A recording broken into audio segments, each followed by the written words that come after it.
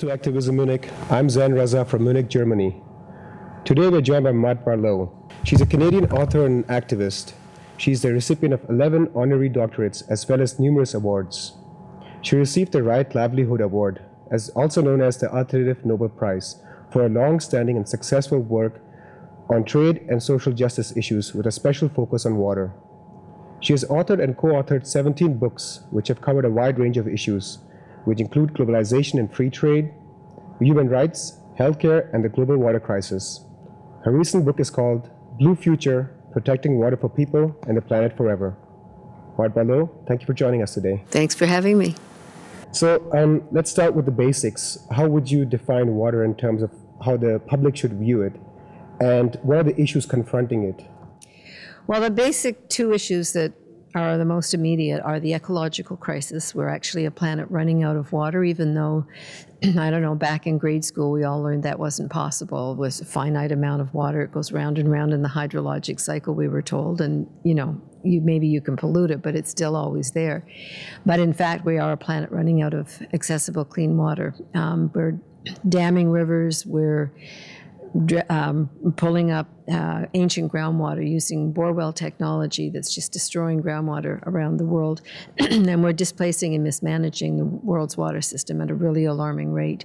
One recent international study said that by 2030, um, the the demand for water in our world will outstrip supply by 40%. So, and it is really a dire crisis. It's the first phase of climate change, actually. On the other hand, we have a human crisis, and that is that we have still a great amount of poverty in the world. We still have a great amount of um, inequity and inequality and injustice in the world. And if you put lack of clean water and injustice and poverty together, you get people without access to clean water and sanitation. About a billion people don't have drinking water, and about 2.5 billion um, don't have any sanitation. They defecate in the open still in our world. So what I've been trying to build is a movement that brings these together because I find these tend to be two silos, the people working on the science and environment, the people working on human rights and, and development, um, to say that we have to build a movement to put water at the center of our lives and all policy and that we must see water as a human right and a public trust. It belongs to all of us. It belongs to the future. It belongs to the ecosystem. It must never be allowed to be privatized, sold, traded, hoarded, put on the open market for sale. Because if it if it's allowed to do that, even more than currently exists, um, we're going to find more and more people will die with for lack of, of water. You've talked a lot about the formation of a global water cartel for many, that would be unimaginable given that we live um, in a free market economy, globalized in a globalized sense, and that the government would intervene for the public interest. Um, could you elaborate on, on this global water cartel that you talk about? Well, first of all, the, the, the, government's already intervened on behalf of the public. Most water systems in this world are still public. They're run by public agencies on a not-for-profit basis. That's, that's quite typical. Um, what these cartels want, what these corporate giants want, is for water services to be delivered on a for-profit basis. So the World Bank has been telling poorer countries, if you want funding for um, uh, water services, you have to go to what's called public-private partnerships and bring in these corporations. Sometimes you get governments, federal governments saying to their municipality the same thing. If you want funding, you, you know, we're moving you to the private sector. But really, it's not so much that it's already a cartel and we're asking governments to intervene. It's already a public service, and we're trying to stop the cartels from taking over the water systems. Uh, policymakers routinely employ rhetoric um, which kind of gives us the sense of urgency and the need to make immediate reforms, be it global warming, food and water crisis, terrorism, or regional conflicts. But when push comes to shove, um, little or no action is undertaken. And um, could you tell us which countries and the names of leaders which have actually undertaken those reforms which have brought about change, and those countries and leaders which have um, done quite the opposite? I can't point to any country and leader that I can say has done all the right things around water. In fact, I can tell you that probably no leader has done what we need to do on water. Um, from the leadership point of view, we need governments to recognize that water is a human right. Now, that has happened at the United Nations, although many governments opposed it. Canada, my government opposed it. The United States opposed it, and so on. Germany actually was very good and supported it. But um, so, so in that sense, the United Nations has done the right thing. So that is one really positive step. But individual governments and individual leaders, no, we don't tend to have a situation where um, where I could turn and say they've done all the right things. They need to bring in legal protections for water, really strong protections against pollution, against over extraction. On climate change, you know how far behind we are on catching the climate change uh, crisis. Um, we need governments to absolutely uh, rule that, that water has to be a public service for their people. So that's work, or at least fighting to maintain that where it exists. We need governments and leaders of all kinds. We need in international institutions to say that water is a public trust and that it must be guarded fiercely as a commons um, and therefore have very strict rules about who gets access to it and what they do with it when they get access to it. And we need governments to govern on what we call watershed uh, basis instead of saying, well, here's a river and you've got some of it and I've got some of it and these guys have got some of it and we're going to fight over it. We each want our share. What can we, how can we come together and govern in a way that is good for the whole watershed and, and good for the whole river? Can we change our minds around that? now, saying that, I would say something positive about Europe, and that is that in 2000, Europe brought in a watershed, a European wide watershed plan where all watersheds, no matter how many uh, political boundaries they cross, are governed on a watershed basis. So that we already have some good laws and some good beginnings. But we're looking at the need for transnational and transboundary um, agreements to be based on the notion of ecosystem protection. And we're a long way from that. So I, I would say your opening statement that governments are failing to act on a lot of these issues, I would say the same is true for water. And I'm, I can talk about individual projects that are good, but not whole governments that are, are doing the absolute right thing. You've been a staunch activist against um, free trade and investment agreements globally. So, um, free trade agreements such as the one that is being currently negotiated between the European Union and the United States, known as the Transatlantic Free Trade and Investment Agreement, um, has strong support from from President Obama as well as our Chancellor Angela Merkel, on the premise that it will boost jobs, growth, investment, and also development um, what consequences do you think it would have on our water systems in Europe if this um, agreement was to be ratified?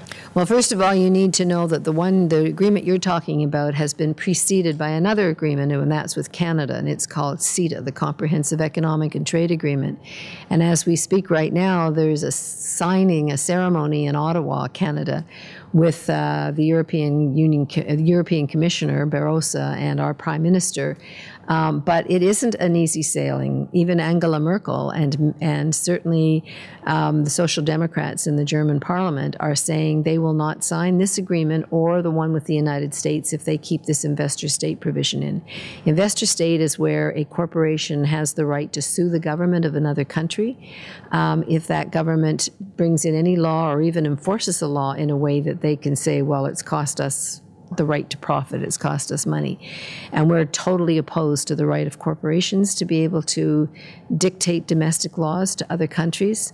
Um, and so um, we've been fighting CETA, and it's been really, really important that Germany uh, seems now to be saying we're not going to sign it in its current form, and they're not going to sign TTIP, the agreement with the United States, if it includes this clause for corporations uh, to be able to sue. The, um, the consequence for those kind of agreements we've lived with under the North American Free Trade Agreement in Canada. And right at the moment, we have $2.5 billion, about just a little, about 1.8 billion euros worth of challenges from American corporations to Canadian laws things like one province brought in a moratorium on fracking, and a big American company is challenging us and saying we don't have the right to do it. And why say we do have the right to do it? You have the right to pass laws that are good for your people, right? And and you've elected a government to act in your behalf, and when they do, why is a foreign corporation allowed to sue? So we've got a big story to tell, and it's been very bad for water what happens is that if you go from a public to a private system, it's almost impossible to go back because the big companies can sue because they can say, well, you've changed the policy.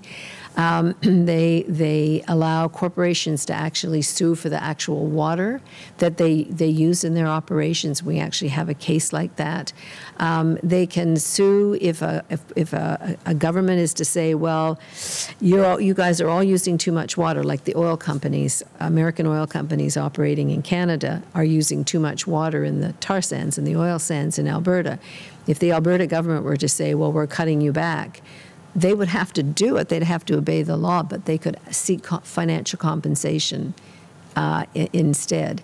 So I, I, um, I, think Europeans need to know, and Germans need to know, that if uh, these corporations get their way, they're going to be enforcing, moving and enforcing privatization of water services. They're going to be claiming water ownership in other countries, um, and they're going to be, uh, uh, you know, basically dictating the, the conditions of working people, how much money, what happens when they privatize is they cut this, the working staff in, in half, and cut corners in terms of of uh, of the actual um, uh, delivery of, of good clean water. So Europeans need to know that this trade agreement is not Europe versus North America. That's not that's a bad way to look at it. It's the big corporations of Europe and the big corporations of North America want to come together to lower the standards, the, what they call the non-tariff barriers.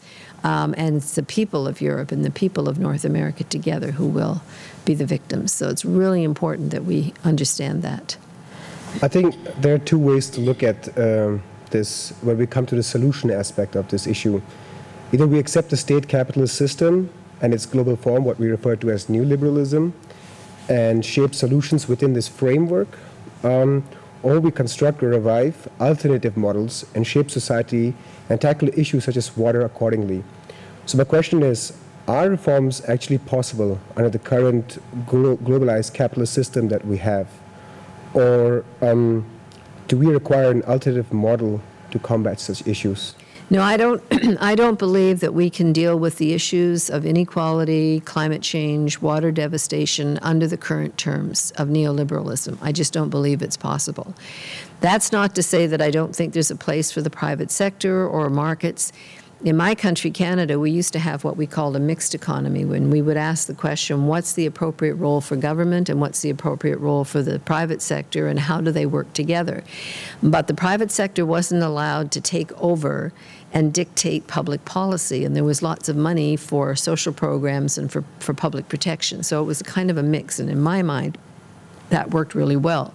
So I think we need to look for that kind of, of reform, um, not reform of the current system, but really truly new models that um, put human rights, that put justice, social and environmental justice, that put um, ecosystem protection right at the center of all of our policies. And one of the things I call for in my book is uh, a new water ethic um, where we, we ask whether it's trade policy or energy policy or agriculture policy, what is the impact on water of, of what we're doing here? And if the impact is bad, you scrap it or you go back to the drawing boards and you start again. So these are the kind of questions that we have to ask, not just about water, but about everything we're doing frankly, if the planet's to survive, because even if people don't care about other people, they should care about themselves and the ability to live in a, a world of dramatically diminishing resources. Lastly, for the people that are watching this interview and want to become a water warrior, to borrow your term, um, what can the individual do in terms of activism? What liter literature can he or she pick up, or what organizations can he or she support? Well, they really want to support something local, um, and there are good water groups in, in Munich and in, in Germany and actually all over Europe. Um, there's um, there are people actively working. There's a, a group that's working to get signatures for a, a water European-wide referendum called the Citizens Initiative. There's another Citizens Initiative on CETA and TTIP if they want to get involved in the trades side of it. But it's really important to find out what's happening in your own local community and not just do it alone. I mean, everybody can do th some things. Give up bottled water. We don't need it. You've got clean water coming, good, clean, safe water coming out of your taps um, you know, change the way we use water at home, you know, be conscious of water, uh, be conscious of pollution. I mean, all of these are things we can do alone, but that's not enough. Even if everybody does that individually, it's not enough. We need to come together to change to get our governments to change direction and change policies. We need the revolution, if you will, the, the alternatives. Um, and we're not going to get that by, you know, turning the water off when we brush our teeth. That's not going to make the revolution come, that's going to that's going to maybe save this much water. But we need to do more than that. And so there are wonderful groups fighting water privatization, fighting shale gas fracking, which is coming to a community near you. I promise you, governments everywhere are looking at shale gas fracking, um, getting involved in these trade issues and becoming literate about trade. All of these are really important things to do. And if they want to just get uh, information on what we're doing, they can come to our website. It's called Canadians.org. And we're, we've got tons of information on the international groups as well. So basically, inform yourself, organize, and mobilize. And get and, and, and find other people like yourself. Because if you're all by yourself, it's crazy making. When you work with other people, you can have fun and you can change the world. Maude Barlow, author of Blue Future Protecting Water for People and the Planet Ever. Thank you for joining us today. Thanks for having me. And that's all from the team in Munich. I'm Zain Raza. Thank you for joining us.